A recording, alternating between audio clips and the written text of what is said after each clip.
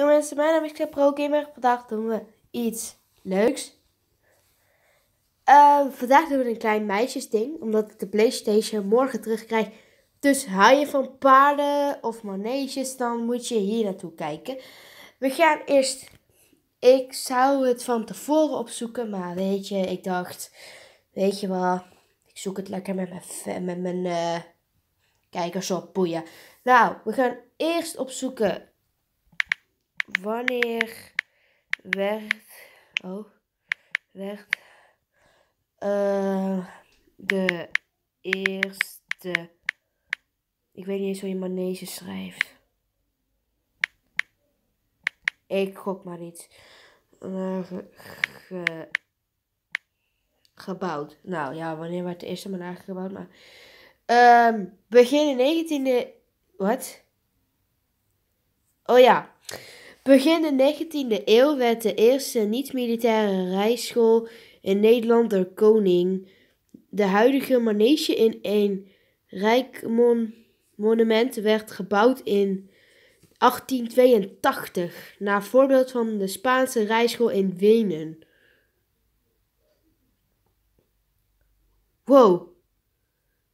Tussen dus maneges bestaan al sinds 19... Nee, sorry. Sinds 1882. Oh my god. Oké, uh, oké. Oké, chill, chill. kan ik dit niet verwijderen of zo? Jawel. Uh, ja. Uh, wat nu? Dit is alvast het eerste weetje, maar het... Ik probeer tien weetjes Oh ja.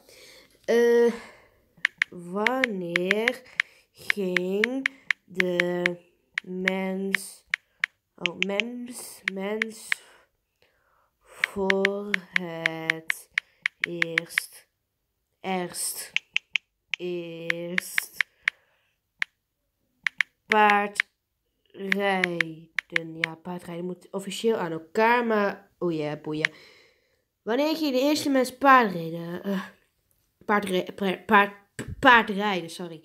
Uh, voordat men het paard getempeld werd er waarschijnlijk al jaren op, paard, op, het paard gejaagd door de mens. De eerste getemde paarden werden met name.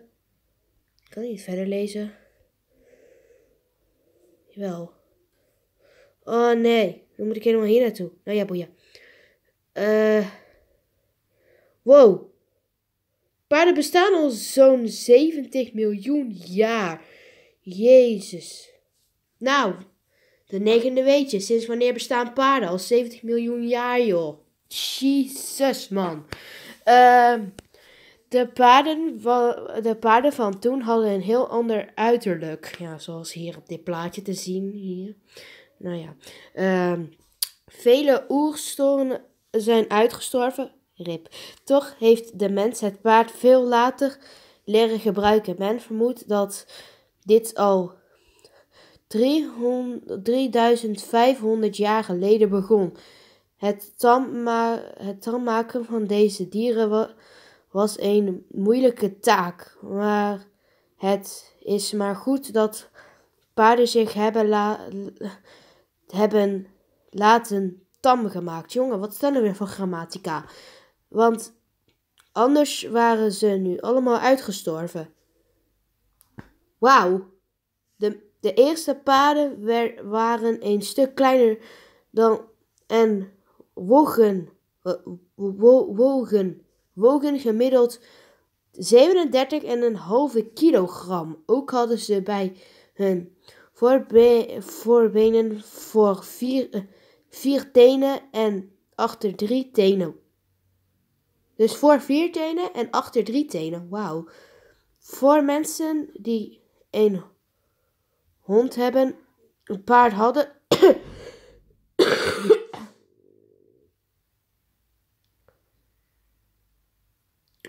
uh, ja.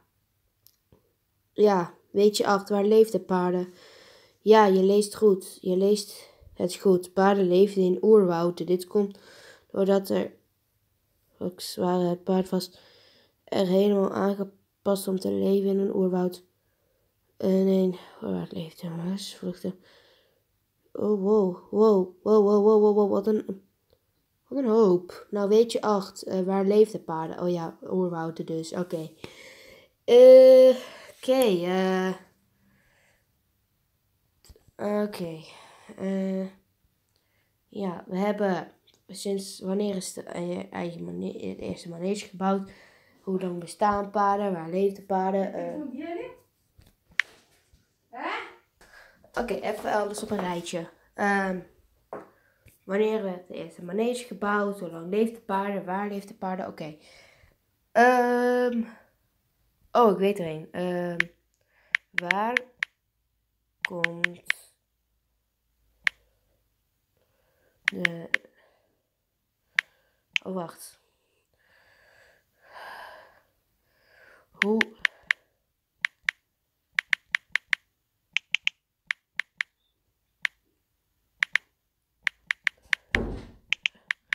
En, oh, Jezus. Ja, hoe kwamen paarden aan de naam paarden? Maar oké. Okay. Um,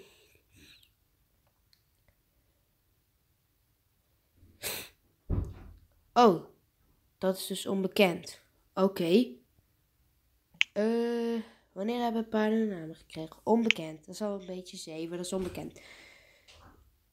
Ehm... 8, 7. Er zijn nog vier weetjes. Uh, ik ga er denk ik 5 doen, want ik weet er niet zo veel meer. Um, wat eten paarden? Ik denk stro of zo. Um,